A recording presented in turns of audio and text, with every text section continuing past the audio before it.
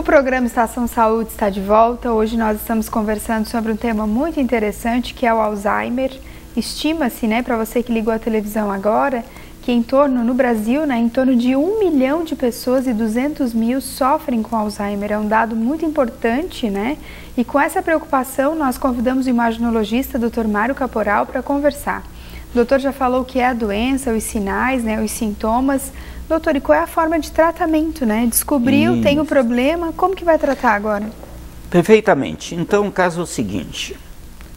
Ao falar nessa doença, Alzheimer, nós sabemos que ela tem estágios importantes. Tem um estágio mais leve, um estágio moderado, um estágio mais grave. E muitas vezes esses sintomas, esses sinais, se confunde, principalmente no estágio 2, 3 ou do 4 com 3. Por quê? Quando a pessoa está num estágio mais leve, que são esses sintomas mais preliminares que surgem, a pessoa nessa fase que o diagnóstico deve ser começar a ser feito.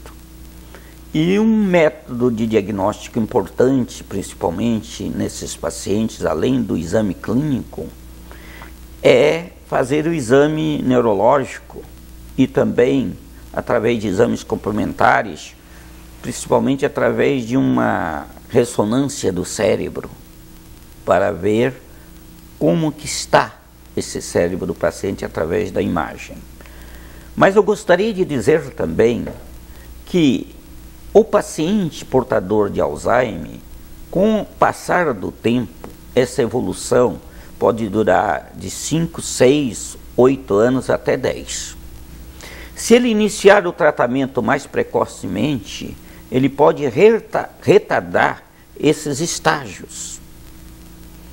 Não evolui tão rapidamente e não tem as manifestações tão sérias como se não naqueles pacientes que não fazem tratamento. O paciente que faz o tratamento, que usa alguns medicamentos atuais que existem, muito importantes, principalmente no bloqueio daqueles neurotransmissores da acetilcolina, da noradrenalina, da serotonina, que hoje são usadas, importantes no tratamento dos pacientes de Alzheimer, nós devemos ter também o cuidado com a evolução da doença, de ter muitas vezes o paciente é dependente de outra pessoa.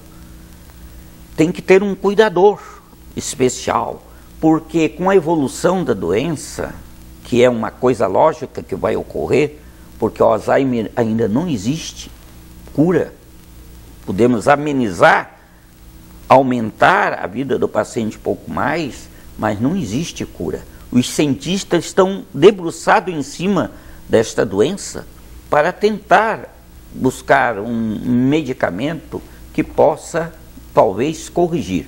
Mas como é uma doença silenciosa e lenta, onde essas placas senis se depositam nos neurônios e existe esse maranhados de neurofibrilares que formam nos neurônios, prejudicando devido à deficiência dessa enzima, porque existe uma enzima muito importante, uma proteína muito importante que, é, que circula no sangue, responsável em transportar o colesterol para proteger a, as fibras dos neurônios de mielina.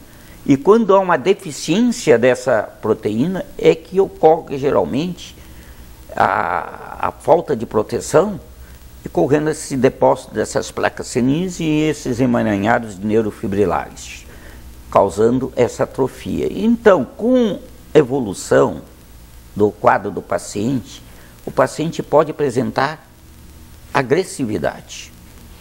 Muitas vezes, já no estágio 2, ele já tem aversão. Ele, um dos fatores importantes que os familiares devem observar é que ele começa a não ter muito cuidado com a sua higiene. Uma aversão ao banho. Muitas vezes se deixar ele fica a semana toda com a mesma camisa ou mais. Não tem esse objetivo de cuidar. E a agressividade. Muitas vezes, quando contraria qualquer coisa com a evolução, ele pode ficar mais agressivo.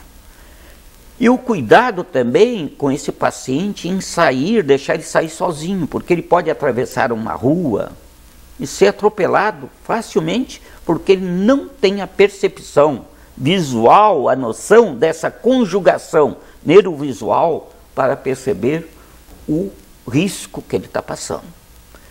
E também, com o passar do tempo, o paciente começa a ter o seu comprometimento neuromotor, dos núcleos motores, com atrofia muscular, com perda dos esfíncteres, urina sem controle, evacua, né, sem controle, por isso da necessidade de ter um cuidador. É muito importante porque vai chegar um, uma fase que ele também não vai querer caminhar mais. Ele não vai querer mais caminhar, ele vai querer ficar só deitado. E tem que ter o cuidado. Hoje também existe benefícios através da previdência social, que o paciente que é portador dessa doença é só a pessoa procurar para ver dos benefícios que pode ter naqueles que são portadores de, da doença de Alzheimer na ajuda de custa. E também muitas vezes ele tem que ter um curador também. Há necessidade muitas vezes da família colocar um curador, uma pessoa que possa administrar, responder por ele. Porque os atos que são praticados por ele, se não forem impedidos juridicamente, têm valor. Mas no momento que ele for interditado das suas funções lógicas, aí sim não tem valor o que ele fizesse, se ele for interditado juridicamente, porque é uma necessidade que se passa naqueles pacientes, infelizmente, portador da doença de Alzheimer. Porque ele tem as suas funções cognitivas, como eu falei, intelectual, a sua memória afetada e, com o tempo, também a sua função motora. Então, o Alzheimer é isto, é essa doença, talvez a, a causa mais importante da demência que acomete a pessoa, que infelizmente ainda não temos um fator causal definitivo, por que ocorre isso, por que essas enzimas se alteram, por que, que existe esse depósito dessa placa senil, por que, que existe esse emaranhado de neurofibrina, por que, que existe atrofia dos neurônios.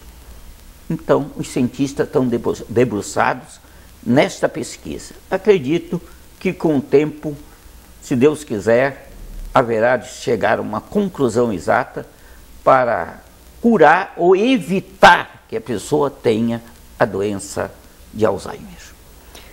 Ótimo, doutor. Muito obrigada mais uma vez pela sua participação e por compartilhar conosco seus ricos conhecimentos. Não, eu que agradeço e estou à disposição sempre. E eu creio que podemos dar um breve esclarecimento sobre a doença de Alzheimer e que as pessoas possam compreender o doente e ter carinho com ele, porque muitas vezes ele também vai perdendo a sua memória, a sua consciência, a sua lucidez e não precisa, e tem que ser bem tratado para evitar complicações. O programa Estação Saúde de hoje termina aqui, mas você pode continuar sugerindo temas através do e-mail estaçãosaude.unisultv.gmail.com Sempre em nome da loja Quer Que Embrulhe Que Me Veste. Se você procura por um look legal, vá até a loja. Muito obrigada pela sua companhia e até a próxima, o próximo programa.